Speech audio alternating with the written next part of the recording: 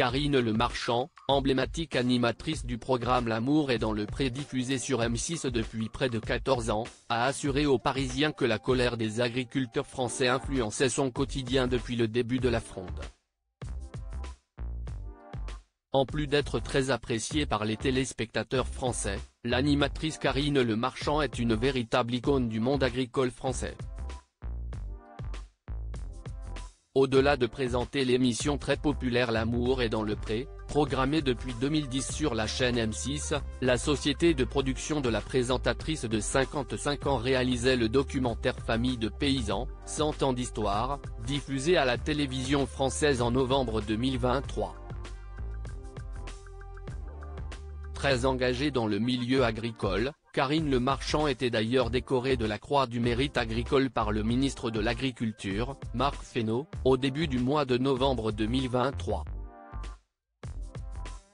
Une véritable promotion, alors qu'elle avait déjà été nommée chevalier de l'Ordre du Mérite agricole en 2013 par l'ancien ministre de l'Agriculture, Stéphane Le Foll. Alors que les agriculteurs français manifestent depuis jeudi 18 janvier 2024 pour être reconnus à leur juste valeur par le gouvernement, l'animatrice de télévision a tenu à partager son point de vue sur la fronde qui se propage à l'échelle européenne. Dormir sur tes deux oreilles dans les manifestations qui regroupent les acteurs du monde agricole français, des pancartes font référence à l'émission L'amour est dans le pré à sa présentatrice Karine Le Marchand. Lors d'un entretien avec le Parisien jeudi 25 janvier 2024, la présentatrice a assuré que son quotidien était impacté depuis le début des protestations. Mon téléphone n'arrête pas de sonner, a-t-elle garanti auprès de nos confrères. Mais ce n'est pas un problème pour elle, qui soutient leurs revendications.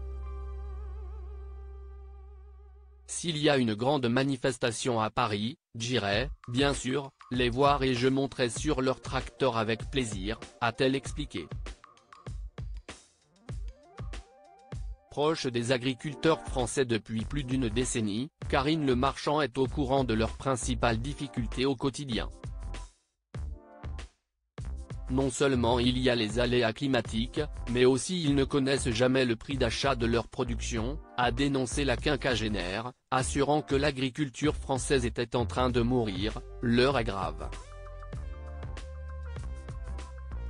Il était évident pour la maman d'Alia d'apporter son soutien au mouvement agricole.